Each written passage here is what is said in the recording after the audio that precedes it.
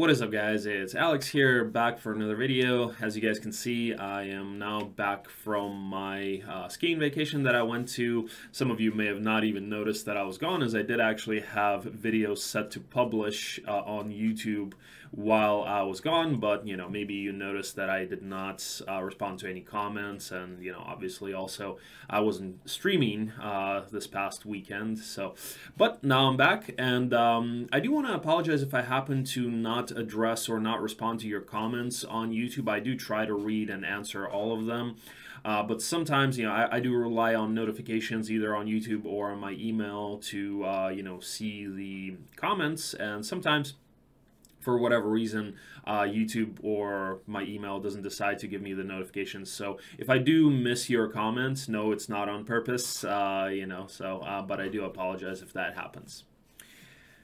And uh, real quick, also before I get into this, uh, the giveaway is going to be coming up this weekend uh, on uh, Saturday the 13th. I will do a final giveaway announcement video in the next couple of days. Um, once again, uh, there will be two giveaways, uh, and the prizes are going to be either $100 in cash or a three-hour coaching session with me, or for a third meme prize, thanks to Kenny I will be shaving one of my eyebrows. So, you know, you would get to choose me to shave an eyebrow, and that's basically two giveaways, so one eyebrow per giveaway.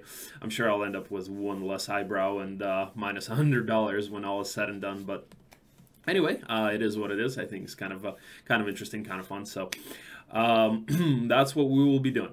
So be on the lookout for that. Once again, you gotta uh, follow me on Twitch, uh, sub on YouTube, and also follow and like the Facebook page, and make sure your likes on Facebook are public to be eligible for the giveaway. All right. Um, Oh, and uh, also, if you guys happen to be, uh, you know, interested in seeing some photos and whatnot of uh, the skiing vacation I went to, um, you know, I will be posting some of those on YouTube and uh, in Discord as well, probably today, maybe tomorrow. So check that out if you're interested. All right, uh, so let's get into this. Uh, this video is going to be an overview of Inferno. Uh, you know, kind of like my other overviews, this is not going to include uh, any gameplay. You know, it's not a demonstration. It's just going to be an overview where I discuss the town, discuss the strengths and weaknesses, and... Um, you know, provide a little bit of uh, kind of strategy tips on uh, how to play Inferno. And uh, the thing is, you know, I've I started these videos a while ago, the series of overviews, and I will be doing a demonstration with Inferno as well uh, sometime soon. But the reason that I've kind of held off on the last four towns that I haven't done yet, which is Inferno, Rampart, Cove, and um, Stronghold, is because I'm just not that good with those towns, and I'm actually not that experienced with those towns. So if you guys happen, like, do let me know what you guys think uh, about this video and do let me know if uh, you disagree with anything that I've said and maybe if you guys have any uh, strategy tips of your own on how to play uh, these towns and you know in this video Inferno uh, do let me know in the comments below. Uh, so because I am also trying to improve myself uh, with these towns. And uh, yeah, I am completely open to suggestion. And, uh, you know, I do realize that maybe I don't necessarily play these in the perfect way or, you know, in the, in the way that they can be played. So. Uh, but yeah, but I do think that it's time, and you know, this will probably help me actually improve with these towns as well. So let's just get into this. All right. So as far as Inferno goes, um, you know, it really is one of those towns, you know, everybody's favorite, right? You know, Inferno is everybody's favorite. Uh, it, it really is one of those towns that has more weaknesses than strengths. And you know, it, it's a, it's kind of a shame. I do actually like Inferno. I do like the concept. I do like the units. You know, I like the the lore that they're actually aliens. You know, if you guys are not aware of that, you know that's explored in more detail in the Might and Magic um, series.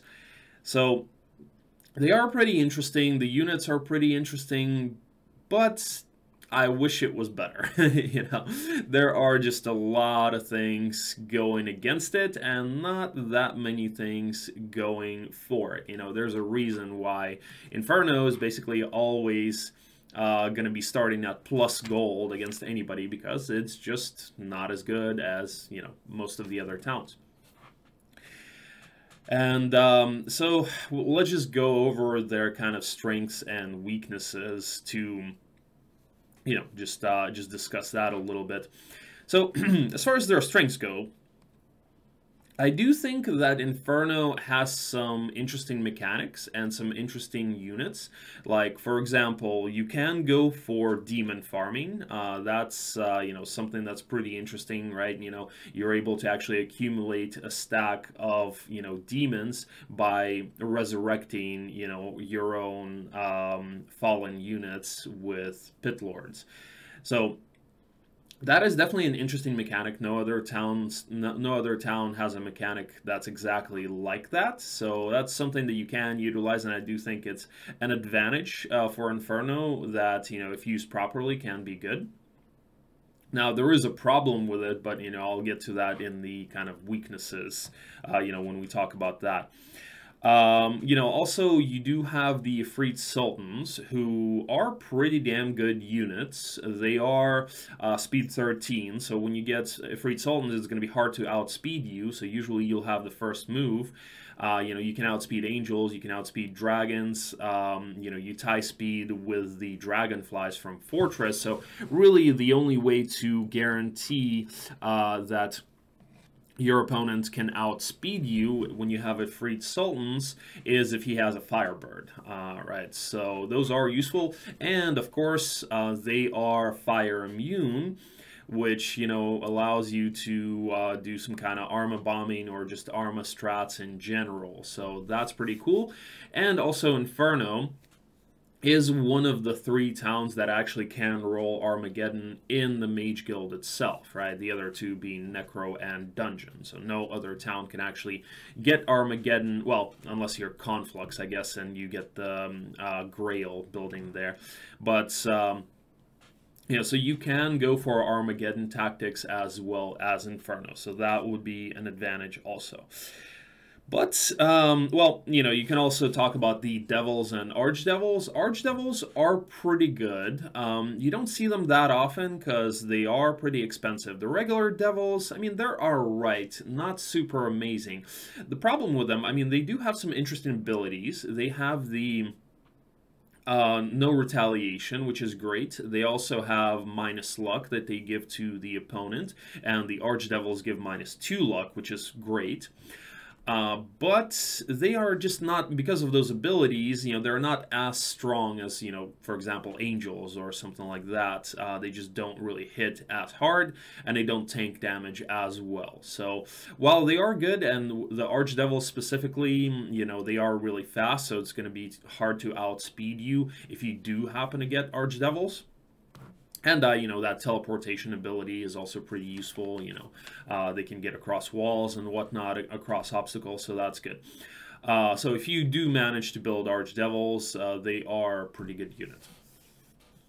But that's pretty much where the uh, strengths kind of end. And now we got, you know, a list of weaknesses. Um, so I mean, it's like, where do you start? You know, with Inferno, you're kind of whammied on all sides. You um, don't really have good heroes. I mean, your best options are Calh and Ignatius, which are your starting options, really and they're just not that good. I mean, well, they're they're not horrible. They're not completely horrible. They will get a decent stat progression. Uh, you know, they will have decent um, battle stats. But when we're talking about, uh, you know, like a skill progression, it's not that great. They don't have that great of a chance of rolling Earth Magic, which is usually really necessary, especially when you're playing a town that's as limited as Inferno. So you're kind of at a disadvantage on you know uh, a lot of sides here and yeah not being able to roll earth magic and you know not having a great skill progression is you know certainly not helping you. And the heretic class is just not great. You do have Ayden who's an intelligence specialist. That's kind of your best hero. It's the only hero that actually made it into my hero tier list that i did way back I mean, the only Inferno hero that made it into the tier list. So uh, it can be helpful, the intelligence specialty, but as a heretic, heretics are just not that great also. So yeah, the heroes are not great. The units overall are pretty weak uh, when you're, you know, imps are basically the worst uh, tier 1 unit, and even if you start as Ignatius, it's really easy to bleed away your imp stack. He does offer you some advantages, but I think Calh is a little bit more of a stable start because, you know, with the Magogs, uh, you can at least kind of control the fights a little bit more and, you know, not die to some, like, Lucky Morales or something like that. Um, you also don't have crypts for whatever friggin' reason. You know, have, have a look at the actual terrain. You do have churchyards, which you can do on Calh as well, but no crypts. There's no crypts on Inferno terrain. And the terrain itself is really friggin' annoying as well, so check this out the color of the terrain. You know, it's not necessarily that big of a disadvantage, but when you have a look at this terrain, you know, you can barely see. So here, you know, you guys can see that I'm trying to um, see their hex grid, their movement grid by, you know, hovering over the uh, air elementals and pressing shift. And because the terrain is black, you can't see it. It's so hard to see. Like, you really have to, like, get close to the screen to actually see that movement terrain. So certainly, you know, annoying. not only, it's like a crack-brained one said, not only do your units suck, but you also can't see anything when you're in fights. So yeah, that also does not help. And uh, the kind of probably one of the biggest uh, one of the biggest problems with Inferno is the fact that it's difficult to kind of snowball. It's difficult to start snowballing, uh, you know, creature banks like hives, pickets, conses, whatever. Um, you know, and it's because you usually start with Calh, right? But even if you start as Ignatius, uh, you just cannot tank. You just cannot tank in hives. As Calh, I mean, as Ignatius, sorry, you can do pickets. Uh, with imps, with upgraded imps, you can actually do a size 2 picket with your day 1 army. Of course, you would be vulnerable to morals, but you still can take a size 2 picket with Ignatius. So, you know, some people do say that basically that's the reason that they start Ignatius over Calh. And, you know, with that, you can maybe start snowballing a little bit. But um, you can do a size 2 cons, or I mean size 1 cons with Calh if you're careful. I think I am going to do a uh, video on that uh, sometime soon. But the thing that you really rely on as Inferno to get rolling is external dwellings. So you really, really need either some Efreet dwellings, uh, maybe some Devil dwellings, or at least the uh, Pit Fiend dwellings as well those are things that you rely on as Inferno, and you know, obviously, if you don't get any, then uh, you're kind of screwed. But even if you do get them, you might die taking them uh, because the Efreet they are fire resistant or immune to fire, so they're immune to the fireball attack from the Magog. So you got to be careful about how you fight them, and you got to do it with uh, expert or at least advanced archery. But I usually try to have expert archery before I do free dwellings or devil dwellings. And you can still die to morale on turn one because you're going to be doing those on Calh usually, which means that you're going to be doing them without tactics. And devils you, you know, as I've already mentioned in my um, tier list video that I did for tier 7 dwellings, uh, devils can not only morale and, you know, screw you that way, but you can also get minus luck. So even with expert archery, you know, when they give you that minus luck, uh, unless you neutralize that effect, you can also get screwed by minus morale. So really, I mean, it's like you're getting squeezed on all sides as Inferno. And um, yeah, while you are relying on dwellings, they are not that easy to take. And if you don't get any dwellings, well, then you gotta rely on actually building something in your town. Like I've seen really good players like Stinger, for example, rush for a Freet. Like day one, they build a Mage Guild, and then they go for a Freet uh, right after that, I think. I think uh, if we just require, hold on, let's just double check this so I don't misspeak. Um, oh yeah, they do require a demon gate. So yeah, if you go Mage Guild, if you skip the Gogs or the Imp upgrade, you go Mage Guild, Demon Gate, and then uh, Fire Lake. So turn three, you can potentially get a Freet, and that helps you a little bit. So usually for a size two con or for a size one cons that you can do, um, you know, with your early game army, you usually still want to have a Freet, and you do want to have a Freet, uh, at least in a lot of cases, to do pickets, so you actually get first move, you know, unless you're starting with Ignatius, of course. So, and uh, the other thing, you know, we've talked about the demon farming as an advantage. Well, the disadvantage of demon farming is the fact that it's slow. So the conditions for demon farming is obviously that you need to have the upgraded pit lords, and you also need to have meat to be able to resurrect. So usually that means having a lot of imp dwellings on the map as well. But the problem is, is that the upgraded uh, Hellhole requires you to build Mage Guild level 2. So you need Demon Gate and Mage Guild level 2. So if you go straight for them, skipping the Imp or the um, Magog upgrade, you can get Pit Lords on turn 5. So that means that turn turn 5 is the earliest that you can start demon farming if you're relying on the upgrade in your town, right? So in a lot of cases, that's going to mean that it's going to be pretty slow, not that viable.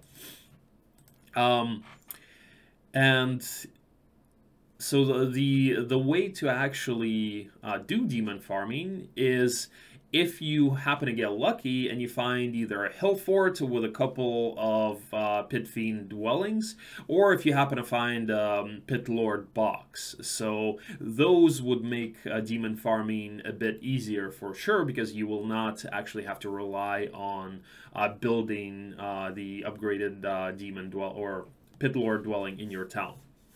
So. And as far as Armageddon goes, you know, while it is an advantage uh, and you can utilize Armageddon strategies if the map just doesn't give you that much, also, you know, you would have to build Mage Guild level 4 and, you know, possibly re-roll it. So uh, that, you know, will also be kind of slow and will cost you a lot of resources.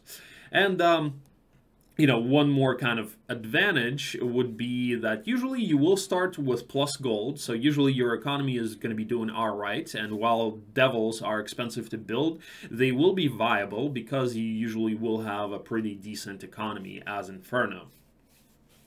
And one last little thing, you know, to kind of kind of add a cherry on top, is their special building, the frigging Castle Gate. It's such a meme. Like, it costs you 10k gold and it is useless. You know, some people say it's like a built-in town portal, but it only allows you to portal between Inferno towns. Actually, it would be kind of an interesting way to buff Inferno uh, to actually make you uh, be able to teleport to other towns as well, not only Inferno. So, you know, would be an interesting buff there. I don't know if that would make it OP or not, but I mean, right now, it's like 10k gold for, you know, pretty much a useless building.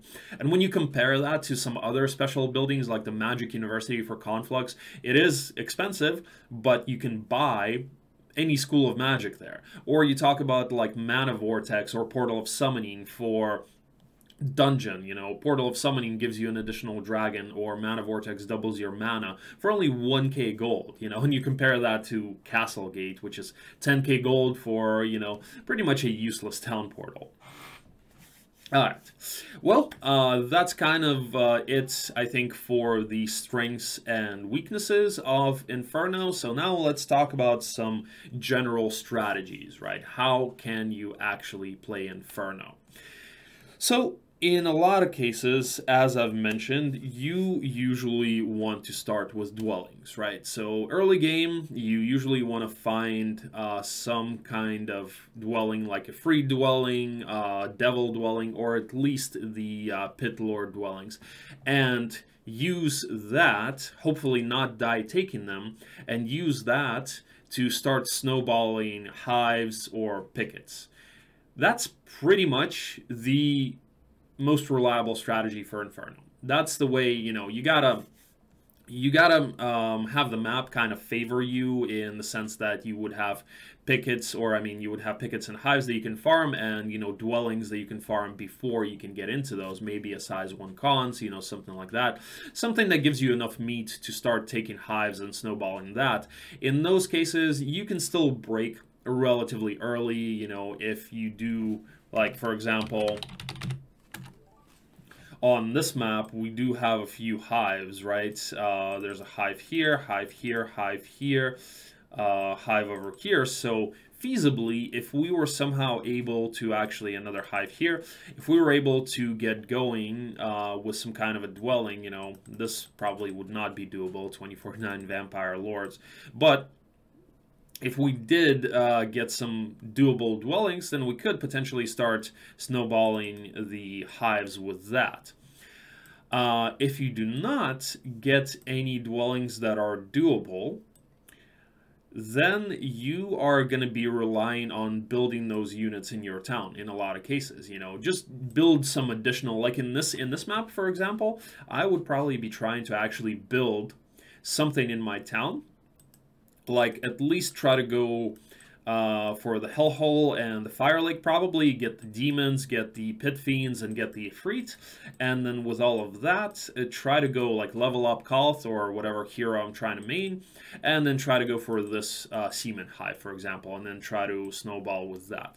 So or maybe this uh, stone golems one because uh, they would be pretty easy to kite as well so yeah, if you are not, um, you know, if you cannot find any good external dwellings, your best bet is probably going to be to try to build some army in your town, maybe find, you know, some additional meat through prisons, maybe side towns, and then through that uh, start trying to snowball hives, you know, maybe level up your hero, something like that. So just figure out a way to try to snowball.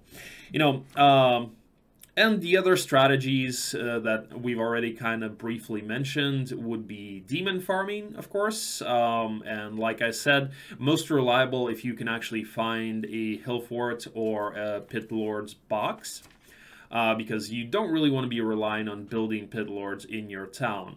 And the Arma strategy, it can help you, you know, Efreet slash Arma, you know, in a condition where you have to deal with a difficult break like this, for example, and you just don't have much army. Uh, you know, and you just cannot snowball that much army to deal with it, or if you have to deal with, you know, something like an enchanter's break, maybe power liches, uh, maybe cyclopes. So, uh, in those cases, Armageddon can help you, and Armageddon can also help you in the final fight. So that is something that you can do as Inferno. And, you know, in a lot of cases, when I'm playing against Inferno, I'm always kind of cautious of that strategy. You know, I'm always cautious of getting Arma bombed, uh, especially when I see my opponent having a Efreet, uh, you know, so that's always kind of in the back of your mind. You know, people will be slightly scared of the Arma bombs when you are playing Inferno. But as far as I can see, guys, that is pretty much it. I mean, that's kind of all of your options as Inferno. Well, of course, you know, trying to build something like Devils in your town, but again, you would need some external Devil dwellings uh, and things like that. But as far as I can see, those are kind of the only options as Inferno, you know, trying to go uh, dwellings into creature banks, uh, or trying to go demon farming, or trying to go Arma, which, you know, the last two you don't see as often. So most reliable, try to go for dwellings and then try to snowball hives or pickets or something like that. So if you guys happen to have other inferno strategies uh, you know something that you do find reliable uh, you know maybe some other tips i would love to hear that in the comments below um, so but i think that's going to be it for this video. So thank you guys for watching and uh, again stay tuned for that giveaway video. That will be out soon. So i hope uh, that you guys find this video somewhat useful. Um, and you know also maybe um, what would be interesting is to get some ideas from you guys on how to buff Inferno. I did have somebody suggest actually uh, doing boxes like the Master, or, you know, not boxes, but like the Master Genie uh, lamps that Tower has, the way that Tower was buffed. Do something like that for Inferno, but give Pit Lords uh, instead of the Master Genies in, you know, that object, you know, whatever it will be. So, that's kind of an interesting way, you know, maybe that makes demon farming more viable. Maybe that would buff Inferno in a decent way. So, uh, yeah, if you guys happen to have other suggestions on how Inferno can actually be buffed, I would also love to hear those suggestions in the comments below. Okay, guys, uh, so this will be it for the overview. Uh, again, thank you for watching, and uh, I will be back soon for more videos. And tomorrow I will be streaming. So Wednesday, uh, I will be streaming. So if you're interested, uh, feel free to tune in on that. And uh, yeah, as always, I'll have the link to the stream in the video description below. All right, guys, take care, and I'll see you in the next video. Peace.